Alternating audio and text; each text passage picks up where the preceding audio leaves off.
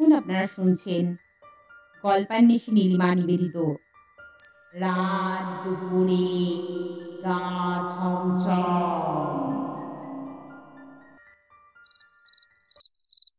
উমাপতি মারা গেলেন আজ। যে আসে, সে যায়।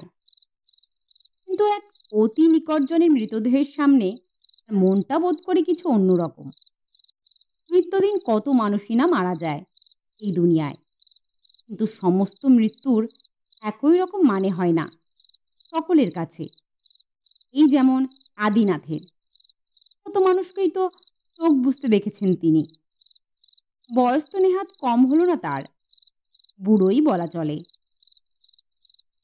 অতএব কেউ মারা গেছে শুনলে বুকটা তার ছ্যাত করে ওঠে ঠিকই। কিন্তু যখন শোনেন, মারা গেছেন উমাপতি, তখন তার মনটা বড় ভয়ঙ্কর হয়ে ওঠে তার কাছে। শ্মশানটা নদীর ধারে, কালো নদী।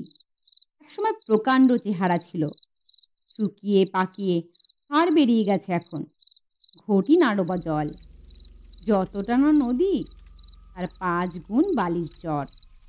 একেবারে হাহা করছে দুপার জুড়ে। এদিকে ওদিকে মাটির হাড়ি আর পোড়ো কাঠ ছড়িয়ে ছিটিয়ে আছে। কখন দুপুর মোড়ে এসেছে? রোদ্দুরে পশ্চিমে ঢলে যাওয়া সূর্যের বিষণ্নতা বলো হরি হরি বল। সে পড়েছেন উমাপতি। বুকের ভেতরটা হুহু করে উঠল আদিনাথের। একটু পরে তার সবচেয়ে পুরনো বন্ধুটি বিলকুল নেই হয়ে যাবে। এই শ্মশানটা বহুকালের। আশেপাশে এক বিস্তীর্ণ এলাকার কত মানুষের চিতায় আগুন দেওয়া হয়েছে এখানে? হিসাব মেলা দুষ্কর। একটা সময় ছিল।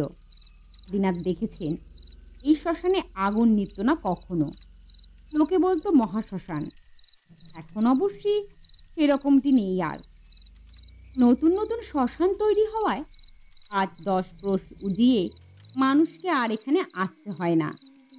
তবু এখনও যা আছে বড় কম নয়। বিশেষ করে ভয়ঙ্করতার দিক থেকে এই শ্মশানের জুড়ি নেই। শোনা যায় আমাবস্যার রাতে এখানে নাকি ভৈরব ভৈরবীরা চক্র সাধনা করে থাকেন। মৃতদেহের ওপর আসন করে সব সাধনাও হয়। বহুকাল পরে এই শ্মশানে এলেন আদিনাথ। অন্য কেউ হলে কথা ছিল। মাপতি? না না এসে থাকতে পারলেন না। সকলে বারণ করেছিল তাকে। শোনেননি। মাপতি তো কেবল বন্ধু ছিলেন না তার, বেশিই ছিলেন। বিছানায় পড়ার আগের রাতেও নিয়মিত দাবা খেলেছেন তার সঙ্গে। ঝড় বৃষ্টি কিচ্ছু কেয়ার করতেন না মানুষটা। ছাতাটি মাথায় দিয়ে টুকটুক করে চলে আসতেন আদিনাথের বাড়ি। আদিনাথ বিয়ে থা করেননি, একা মানুষ। দাবার খুঁটির ওপর শত্রুতা করার মতো নিকটজন কেউ ছিল না। আজই বেপরোয়া মেজাজে ঘোড়া ছোটাতেন। উমাপতিও কম যেতেন না। বাড়ি থেকে কেউ ডাকতে এলে রক্ষে ছিল না। তাকে ছাতা নিয়ে ধাওয়া করতে বাকি রাখতেন। বড় ভালো ছিলেন মানুষটি। আদিনাথকে কি চোখে দেখেছিলেন কে জানে? আর পরামর্শ ছাড়া এক চলতেন না। সে নিজের মেয়ের বিয়েই হোক, ছেলেকে শহরে চাকরি করতে পাঠানোই হোক। ওর সঙ্গে সম্পর্ক কি আজকের? এই গ্রামেই কোন ছেলেবেলা থেকে একসঙ্গে মানুষ হয়েছে দুজন? স্কুলে পড়াশোনাও একসঙ্গে। আর পরে এইসব গা-গঞ্জে কত রকম পরিবর্তন হয়ে গেল, দিনকাল বদলে গেল। উলুপচান ভয়ঙ্করী কালো নদীও লক্ষ্মীটি হয়ে গেল। দুই বন্ধুর সম্পর্কে তীর ধরল না একটুও।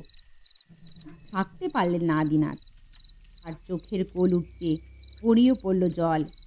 এইমাত্র উমাপতির চিতায় আগুন দেওয়া হলো। শ্মশান যাত্রীদের জন্যে টিনের চালাঘর ছিল। আদিনাথ সেদিকে গেলেন না, উল্টো পথ ধরলেন। নদীর কিনারে বালির উপর খুঁজে নিলেন একটা জায়গা, বসলেন। উমাপতির গায়ে আগুন ধরে যাচ্ছে তা দেখতে পারছিলেন না আর। বলা যায় পালিয়ে এলেন। ওখান থেকে সীতাটার দূরত্ব অনেকটা। তবু বুঝতে অসুবিধা ছিল না, আগুন ধরে গেছে তাতে। হাউ হাউ করে আগুন উমাপতির শরীর জুড়ে নৃত্য শুরু করে দিয়েছে। এর নাম কর্তা? প্রথমটা কানে যায়নি আদিনাথের। তারপরেই, ও কর্তা, বলে জোরে কেউ চেঁচিয়ে উঠতেই চমক ভাঙল তার। ঘাড় ঘুরিয়ে তাকিয়ে অবাক হয়ে গেলেন। লোক, এল্লাই উঁচু, গাট্টা গোট্টা, পরনে নেংটি কেবল আবলুস কালো রং, গায়ের লাল টকটকে মাড়ি বের করে হাসছে। আদিনাথ তাকিয়েছিলেন। কে না চেনা ঠেকছে, এমন যেন। তুমি কে হে? আগে আমি ডোম।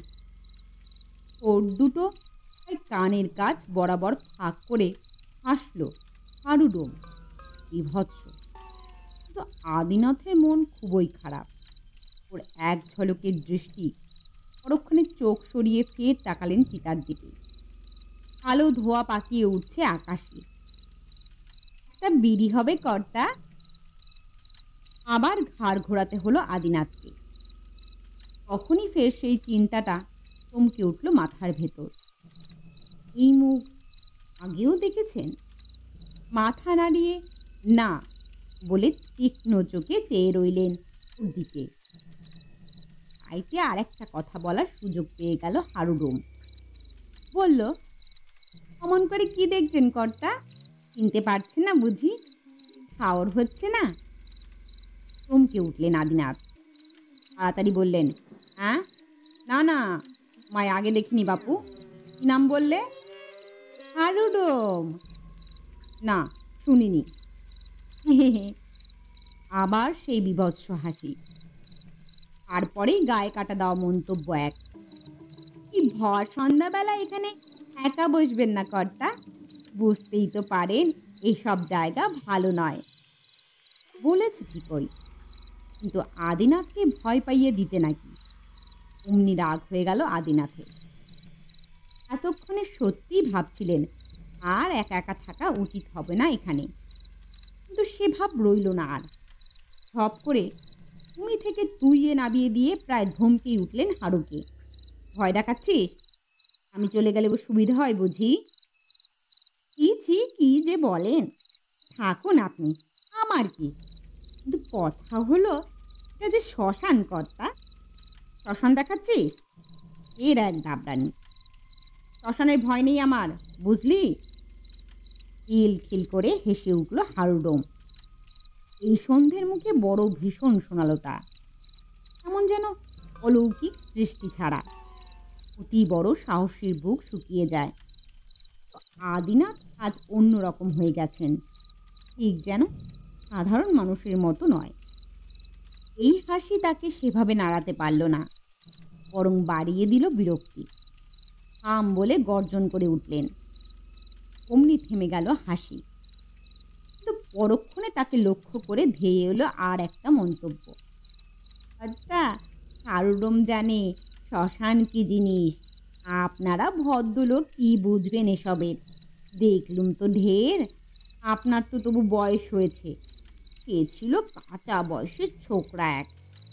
আপনি যেমন বললেন কেউ বলেছিল, ভয় ডয় নেই তার। তারপর যা কাণ্ড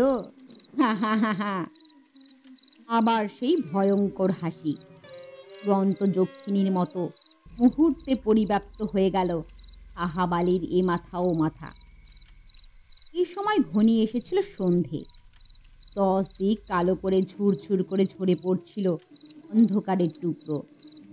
অকেজো ইরেজার দিয়ে পেন্সিলের দাগ তোলার মতো পালিয়ে গেছে মাথার ওপরের আকাশ।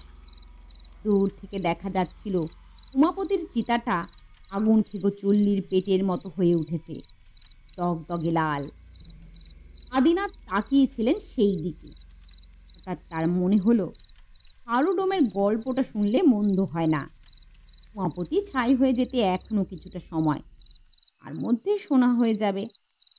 ছাড়া কেন কে জানে, নেশার মতো পাকিয়ে উঠেছিল আর ভেতরে গল্প শোনার খিদেটাও ঘুরিয়ে দিলেন চোখ ওর দিকে।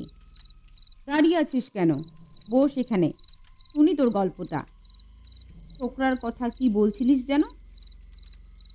হাড়ুডম বোধ হয় তাই চায়। বসে পড়ল। তারপর আর হাসছে না।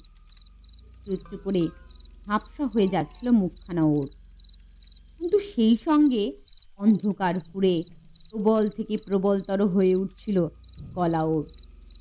কি এক নারকীয় ঘটনা রোমহর্ষক ও বিভৎস।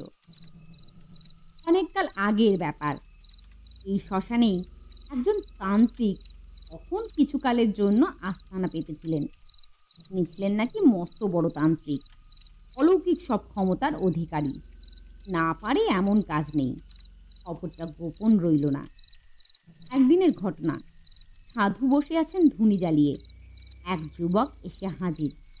কাজেই গ্রামে থাকে আর ইচ্ছে হয়েছে মন্ত্র সাধনা শিখবে। সব দেহের ওপর বসে সাধনা করে অলৌকিক ক্ষমতার অধিকারী হবে। সাধু তাই শুনে শিশু লুচিয়ে তাড়া করলেন তাকে। তখনকার মতো পালালেও পরে আবার এলো সে। এইরকম বারবার। সাধুর প্রচুর গালাগালি দু এক ঘা মারও বেমালুম হজম করে নিল। টলল না সংকল্প থেকে। শেষকালে প্রসন্ন হলেন সাধু। রাজি হয়ে গেলেন দীক্ষা দিতে। কিন্তু তিনি বারবার বলেছিলেন, বড় কঠিন এই সাধনা। ভয়কে জয় না করলে আগুন নিয়ে খেলা হয়ে যাবে সবটা। আর চাই গুরুর ওপর মরণান্তিক বিশ্বাস, নইলে অবধারিত মৃত্যু। ছোকরা গো ধরে বসে আছে। জোর গলায় বলে গেল, সমস্ত কিছুর জন্য তৈরি সে। অবশেষে এলো সেই দিন, অমাবস্যার তিথি। বিকেলে যুবকটি শ্মশানে গিয়ে দেখল, সাধু বসে আছেন। তাকে দেখে উঠে পড়লেন। তারপর তার একটা হাত ধরে টানতে টানতে নিয়ে গেলেন নদীর ধারে। মরা শোয়ানো আছে তীরে, একেবারে টাটকা। দেখে মনে হচ্ছিল ঘুমিয়ে আছে যেন। বোধ হয় ভেসে যাচ্ছিল নদীতে। এনে তুলেছেন সাধু। চক্ষু স্থির হয়ে গিয়েছিল যুবকের। তখন সাধু ভীষণ এক অট্টহাসি হেসে বললেন তাকে, রে হতবাগা কি বলেছিলুম? মিলল সব? জানবি? এমন এক সাধনা সবের জন্য আটকাবে না, ঠিক জুটে যাবে। সেই রাতের ঘটনা। সাধুর কথা মতো এক বস্তা খই, এক ছড়া বীজে কলা আর আনুষঙ্গিক অন্যান্য উপকরণ নিয়ে যুবকটি পৌঁছে গেল শ্মশানে। সাধু প্রয়োজনীয় উপদেশ দিয়ে তাকে আসনে বসিয়ে দিয়ে অদৃশ্য হয়ে গেলেন। যাওয়ার আগে চোখ পাকিয়ে হুঙ্কার ছেড়ে বললেন, খবরদার আসন ছেড়ে উঠবি না। যেমন বলেছি, করবি অন্যথা না হয় যেন। ঘোর অন্ধকার। জনমানুষের সাড়া নেই কোথাও। দিকে ওদিকে খেয়াল ডেকে চলেছে অবিশ্রাম। সে যেন খসখস শব্দ চারপাশে। ক্রমেই বাড়ছে লঙ্গ দেহ, কপালে মস্ত সিঁদুরের ফোঁটা। চোখ শক্ত করে বুঝে এক মনে মন্ত্র জপ করে যাচ্ছে যুবকটি। এইরকম কিছুটা সময় হঠাৎ ঝাঁকি দিয়ে উঠল সব। জেগে গেছে। চোখ খুলল ছেলেটি। আকাশের আলোয় সবের মুখের দিকে চেয়ে অন্তরাত্মা শুকিয়ে গেল তার। হা হয়ে গেছে মুখ। তোয়াল নড়ছে ওপরে নিচে। আর একটু দেরি নয়। যুবকটি খয়ের বস্তায় হাত ঢুকিয়ে এক মুঠো বের করে গুজে দিল ওর মুখে। দেখতে দেখতে অদৃশ্য হয়ে গেল সমস্ত খই আবার খইয়ের বস্তায় হাত চলে গেল যুবকের। আরও এক মুঠো। খেয়ে নিল সব, তাও। এইরকম আরও কয়েকবার। খই শেষ? এইবার কলা একটা করে ছাড়াচ্ছে আর গুজে দিচ্ছে মুখে। শেষ হয়ে গেল সমস্ত কলা। তবু খিদে মেটেনি সবের। হা করে আছে আগের মতো। কান উড়ে গেল যুবকের। ফেলে বেরিয়ে এলো চোখ। সাধু যা বলেছে। এরপর তো তার হাতটাই ঢুকিয়ে দিতে হবে সবের মুখের ভেতর। বিকট আর্তনাদ করে উঠল যুবকটি। ভুলে গেল সব, গুরুর নির্দেশও। উঠে পড়ল আসন ছেড়ে। দৌড় দৌড় দৌড়। মরি করে দৌড়চ্ছিল। আকাশ ফালা ফালা হয়ে যাচ্ছিল চিৎকারে। হতভাগ্য যুবক, তখনকার মতো প্রাণে বাঁচলেও সে জানতেও পারল না, ভয়ের চেয়ে আরও একটা ভয়ঙ্কর আর পেছনে তাড়া করে যাচ্ছিল। গুরুর অভিশাপ। এই সাধনায় গুরুর ওপর বিশ্বাস হারানোর মতো মহাপাপ আর নেই। থাম থাম হতভাগা চেঁচিয়ে উঠলেন আদিনাথ।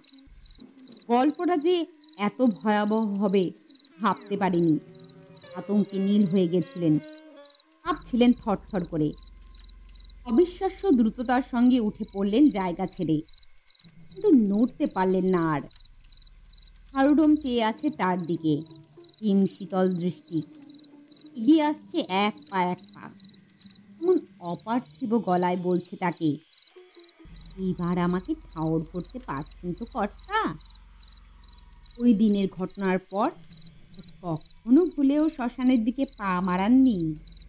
কিন্তু আমিও তককে তককে ছিলুম। একদিনে বাগে পেয়েছি আপনাকে।